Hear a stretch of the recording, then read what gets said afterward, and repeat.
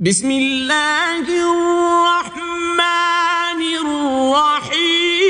الرحيم In the name of Allah, the Beneficent, the Merciful. تبت يدا أبي لهب وتب The path of Abu Lahab will perish and he will perish.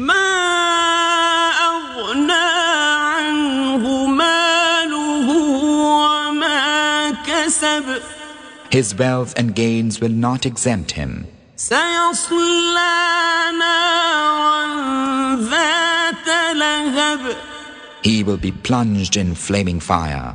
وامرأته حمالة الحطب And his wife, the wood carrier. في جيدها will have upon her neck a halter of palm fiber.